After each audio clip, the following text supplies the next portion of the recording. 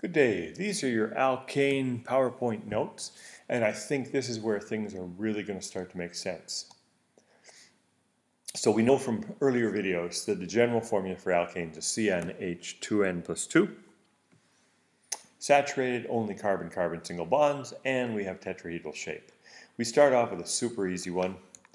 What we see is we have two carbons in our longest sausage, these hydrogens around aren't considered branches. We just fill in with hydrogens to make sure we have four bonds around every carbon. That's why you gotta remember about bonding. Well, the prefix for two in carbon land is eth, and it's now alkane, so we combine eth and ane, and incredibly, we end up with ethane.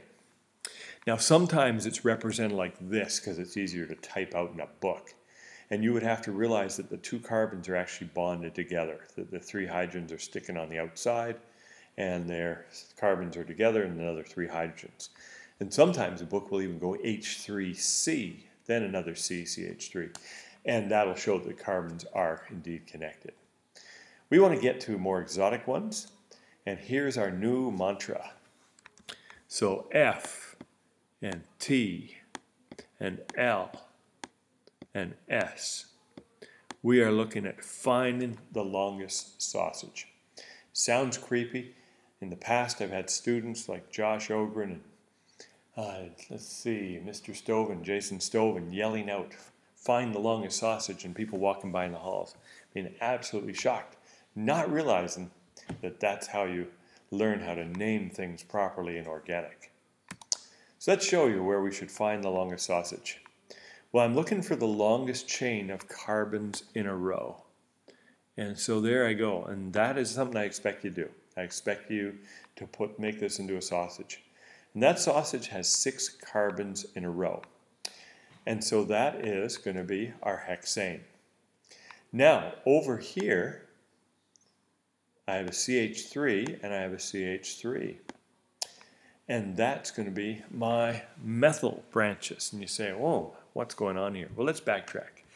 So first of all, we had a hexane, and it is a pain to write with this thing. We do our best. Takes forever. You do not have to write this down. It's all going to come in neatly. But you do have to do the sausaging.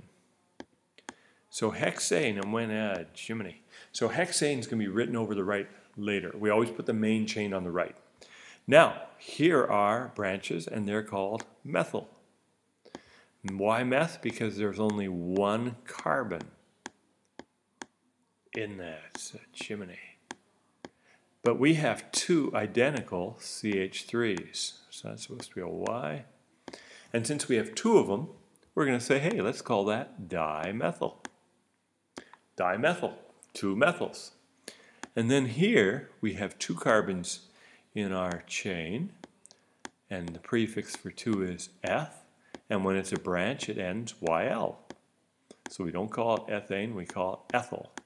We didn't call it methane, we called it methyl. So branches are sticking out of the main chain. In this case, our main chain was an alkane. Next thing we have to do is figure out their locations because we got to put enough information in so someone could go from a name and get back to drawing the structure. So if I count from the left, I'm going to get one, two, three, four, and five. And you can put these locations on. You can write these numbers. And if I count from the left, it means all my branches on the second, third carbon. If I counted from the right and made this carbon 1 and 2 and 3 and 4 and 5, all my branches be on 4 and 5. So I have to count from the left this time. So here's a crazy way of how we'd show it in a book. We generally don't worry about it. Let's get right to that name. So here is our 3-ethyl, 1, 2, 3. The ethyl's on the third carbon. We have two methyls, so we have to say where they're located. One's on the second, one's on the third, so we went 2, comma 3. Dimethyl, and our main chain, the hexane, on the right. There's a lot going on there. Typically, we want to do this alphabetically, so ethyl becomes comes before methyl, the E before M. But in grade 11, if you went 2 comma 3 dash dimethyl dash 3 ethyl and then stuck on the hexane, it would be marked correct because there's just so much going on. So as long as you have the branches, the main chain comes to the end, hopefully it's going to make sense. Now this one's really bizarro. This is a pretty tough one, but might as well do some tough ones in our notes. And here is our longest sausage.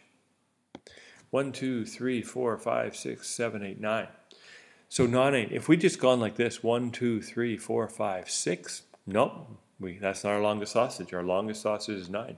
Even when one, two, three came down here to get to eight. So that's our longest sausage. So we're going to have a nonane over on the right. And we're going to have a branch. And the branch is going to be an ethyl. And the ethyl is going to have a bromine on it, which is going to be called a bromo. So we're going to stitch this together. And you say, how did this all work? Well, here's the nonane. So the nonane came from the nine carbon branch, or nine carbon main chain. Then the ethyl came from here. And then we go one, two, three, four. So it's a four ethyl. It's saying the ethyl is on the fourth carbon. And then we look at this branch starting here and we go one, two. So it's on the second carbon, the branch, so it's a 2-bromo. So we don't go 2, two bromine or bromide. We go 2-bromo, 4-ethyl nonane. A lot going on in these incredibly deluxe notes.